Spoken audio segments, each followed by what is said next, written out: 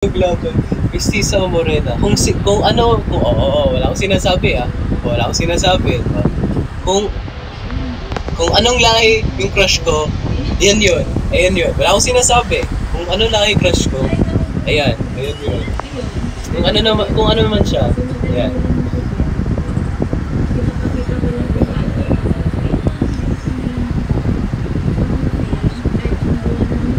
So, miss, hindi Josh, Josh, oh, Josh, Josh, Josh. Kung, oh, oh.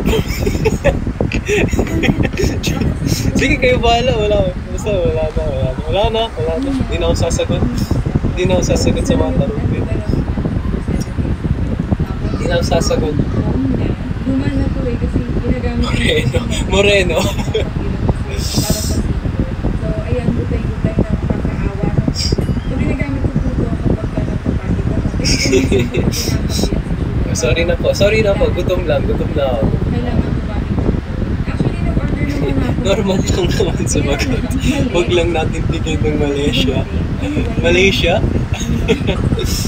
Kung hindi mestiza. Hindi, oh, oh, oh, si, okay. Mestiza si Angie. Oh, mestiza si Angie. Tapos tatanungin niyo ako, Gusto ko ano? gawin yan.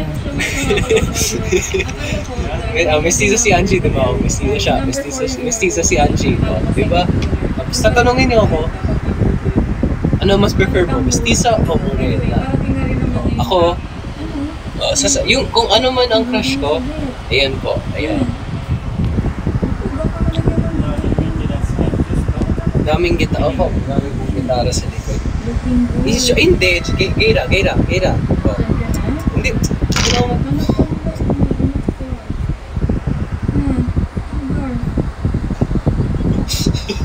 Ang daming gitar. Iyak muna. Umiyak na. Amin na kasi. Hindi kasi. Kasi po. Kasi po. Kasi po. Oh, mas defensive pa ako kaysa sa thesis defense ko.